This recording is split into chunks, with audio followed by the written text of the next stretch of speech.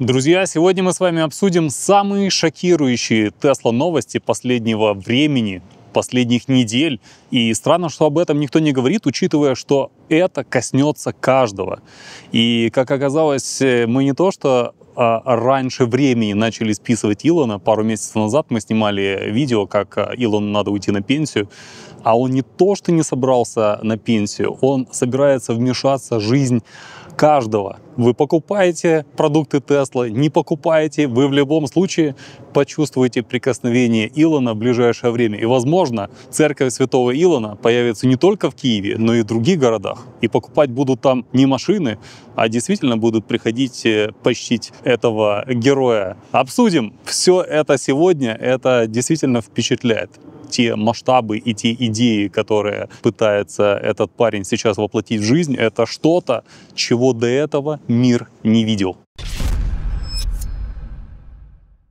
Привет, друзья! Пока весь мир уверенно движется к чему-то, что больше напоминает конец, Тесла и вся команда движется к устойчивому изобилию. Именно это есть теперь новая цель компании Тесла и всей команды. Акционеры приняли во внимание пожелания Илона Маска и приняли его программу. И цифры там невероятные. Мы будем потихоньку это стараться принимать.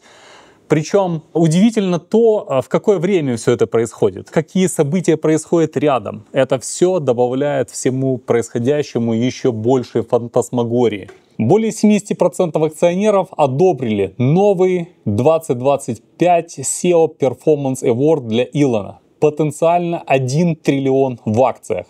То есть э, это самая большая выплата в истории человечества одному человеку от одной компании. Один триллион. Давайте вот на экране вы увидите, сколько это нулей. Когда-то кто-то из вас думал, в принципе, о триллионе и о том, что эта цифра может кому-то лично принадлежать в целом. Я в конце расскажу свой скепсис и огромное несовпадение во всем этом происходящем. Маленький такой скепсис, это ничего такого экстраординарного. Значит, Tesla переходит от автопроизводителя к компании реального мира AI. То есть основной фокус Optimus. По большому счету, Илон всю презентацию доказывал нам, что мы на дорогах общего пользования видим не автомобили по значкам Tesla, а видим роботов э, с колесами. И когда мы посещали Tesla кафе, посмотрите это видео, если э, вам хочется увидеть концепцию Tesla и э, кафетерия на тему Tesla, мы видели раскрытого робота Optimus, и что самое интересное, Илон абсолютно прав, в Оптимусе все те же ингредиенты, которые мы а, ежедневно видим а, в автомобилях Tesla. Тот же компьютер, тот же процессор автопилота, те же камеры, которые у нас стоят по бокам и спереди, они установлены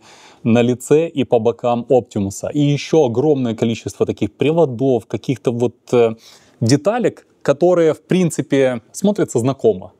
То есть, по большому счету, основные ингредиенты, включая чип, а именно Tesla чип, потому что Tesla производит свои собственные чипы, основные ингредиенты автомобиля Tesla мы можем найти в Optimus. Поэтому для меня вот эта часть не была чем-то удивительным. И когда Optimus зайдет нам на ремонт, придет сам на ремонт уже, видимо, без владельца, то мы не растеряемся. Ну, в общем-то, понятно все, что делать и как делать. Optimus — это самый важный продукт в истории человечества. Он устранит бедность, обеспечит всем лучшее медицинское обслуживание. Их будет больше, чем смартфонов, по словам Илона. Что имеется в виду под устойчивым изобилием? Э, всегда больше всего э, человечеству не хватало нескольких вещей. Это продовольствие и это медицинского обслуживания. Особенно в США э, медицинское обслуживание очень дорогое, страховки очень дорогие. И когда по словам Илона, опять же, Optimus сможет оперировать с точностью лучше, чем хирург, зная и понимая а, предмет лучше, чем доктора, и этих Оптимусов будет больше, чем автомобилей, больше, чем людей потенциально в мире, э, то, конечно, это что-то похоже на, на изобилие. То есть э, роботы производят товары, которые мы можем потреблять, обслуживают и себя, и нас, людей. Поэтому вот где-то там стоит искать изобилие. Я понимаю, в, в реалиях сегодняшнего дня с какими-то скандалами, с какими-то людьми, которые что-то украли, куда-то поехали там и так далее, а, человек выходит и говорит, значит, э, экономику мира мы увеличим в 6 раз. Но, конечно, на следующий день акции Tesla начинают падать, а не расти. Потому что люди просто э, этого не могут принять. Но сами цели конечно, вызывает уважение. Это невероятно, когда человек озвучивает такие цели на свою жизнь, которая, по сути, ему отмерена не так много. Многие в 20 лет и в 15, и в 10, и сколько бы ни было лет, ставят перед собой намного более скромные цели. А от этого именно и зависит масштаб личности. Илон уже в рамках того, что сделал, заслужил себе много титулов по всему миру. Тони Старк современности, самый крутой предприниматель современности, и визионер современности и так далее, и так далее. В этот раз он говорит, что это не просто новая страница в истории его лично и компании Tesla. Это прям новая книга под новым названием «Устойчивое изобилие». Ключевые цифры и цели на Optimus, а это основной продукт. Демонстрация живых роботов на сцене, танцевали без проводований, потребление энергии чипа А15 снижено до 250 Вт, производство Optimus запуск в конце 2025 года, в начале 2026, то есть сейчас на заводах Tesla. Цель 1 миллион роботов в коммерческой эксплуатации. Часть нового компенсационного пакета Илона. Долгосрочная цель – десятки миллионов роботов, бесконечный источник денег и экономика изобилия, автономия и роботакси, FSD и CyberCab. FSD полностью без водителя в некоторых районах Остин уже до конца 2025 года. Развертывание роботакси в 8-10 крупных городах США к 2025 году. Естественно, Родстер основное обещание выпустить, но правда разница в том, что презентация нового Родстера должна пройти в 2026 году, примерно в середине, и обещана самая впечатляющая презентация из когда-либо проводимых. То есть это будет презентация около летающего автомобиля или что-то вроде того. Но, по крайней мере, так обещано. Когда он будет выпущен, по-прежнему неизвестно и, скорее всего, не в 26-м, не в 27-м году. Это по-прежнему будет вишенка на торте, а торт, видите, уже даже миссия поменялась э, у компании в целом, а ростер все еще откладывается. Cybertruck, машина, на которой Tesla дальше делает ставку, и Semi-Truck будет э, выпущено уже какое-то количество машин, и они должны уже появиться на дорогах общего пользования. И давайте пройдемся еще раз по целям. Первое. Поставка 20 миллионов единиц автомобилей. Я не понимаю, это в год или в какое-то определенное количество времени, потому что, напоминаю, Tesla хотел выйти на 8 миллионов автомобилей ежегодно, но пока что это далеко от, э, от этой цифры. Активные FSD подписки. 10 миллионов активных FSD подписок. На некоторых рынках можно только купить FSD целиком, а подписки доступны, по-моему, только на территории США. Это 100 долларов в месяц, это со скидкой. До этого было 200 долларов в месяц, но даже при 100 долларах в месяц 10 миллионов, это у нас, ребята, миллиард миллиард в месяц только на подписках на автопилот. Роботакси в эксплуатации 1 миллион автомобилей, 1 миллион таксистов вышло на пенсию. Оптимус в эксплуатации 1 миллион штук, 1 миллион семей уже находятся в устойчивом изобилии. Чистая прибыль 4 кварталов подряд 400 миллиардов.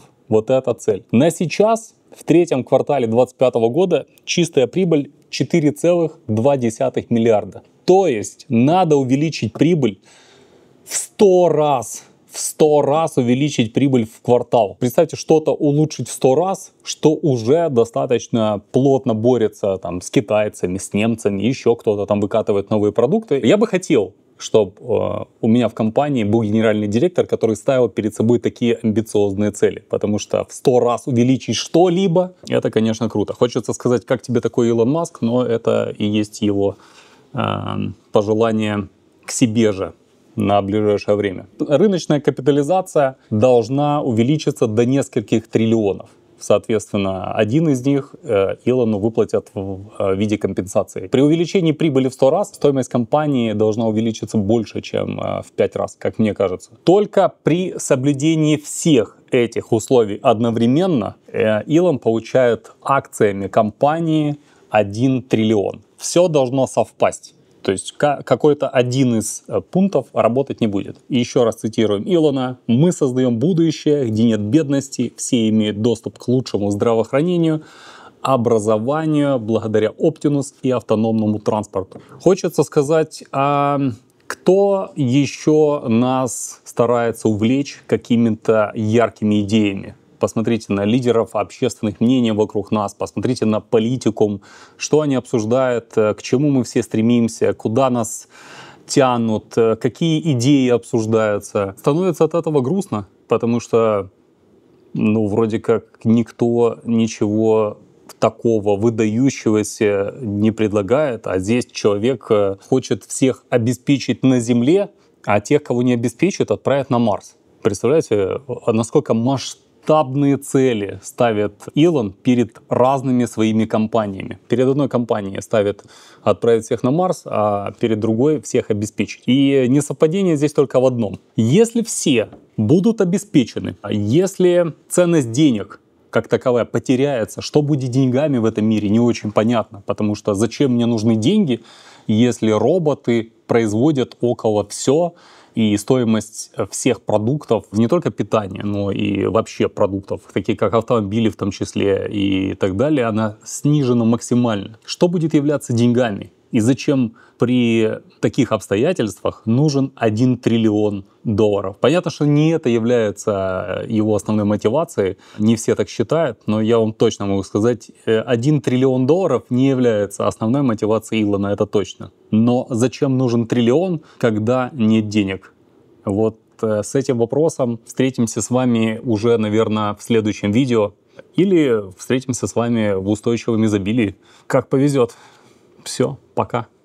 Пока мы с вами разговаривали, даже солнце успело выйти, и вопрос, который остался, это, как думаете, все-таки будут люди еще расставлять э, церкви Святого Илона по всему миру, или это останется так на уровне шутки э, только в Киеве, и люди просто примут все, что Илон планирует дать, как должное, и будут дальше между собой э, драться, коррупционировать, наркоманить и так далее. Или все-таки верите в прекрасное? Поделитесь вообще своими мыслями по поводу э, будущего, насколько оно грядет светлое.